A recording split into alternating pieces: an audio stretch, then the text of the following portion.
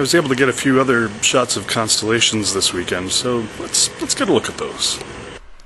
Last night I went to the Santa Monica Mountains above Malibu to try to watch the Perseid meteor shower. I was able to, to see a few meteors, and I also thought I'd give it a try and see if I could get a few on f- video or, or maybe in photographs. Well, I, I wasn't able to do that, but I was able to get some pictures of constellations framed by the mountains up there.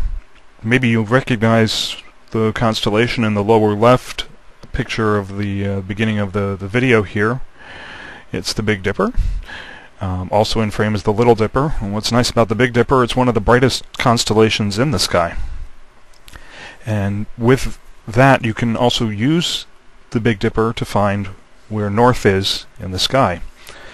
So if you look at the two end stars of the bowl of the Big Dipper, circled in yellow, and you draw a line through them in the direction that the bowl opens, you are pointing toward Polaris, which is the North Star. So it's the only bright star in that region of the sky. So just like the Big Dipper tends to be a fairly bright constellation, Polaris is really the only bright star in that region, and it should even be visible from urban areas.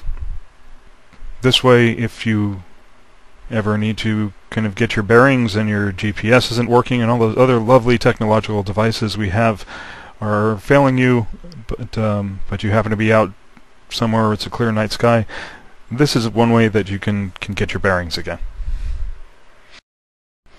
Oh wait, wait, here's here's a meteor. No, that's not. That's a plane. But you might also recognize Sagittarius over to the left, the teapot, and Scorpius is lying along the ridge that's on the right side of this picture. And you can see some of the Milky Way kind of rising up in between them, kind of a, above uh, part of Sagittarius there on the left.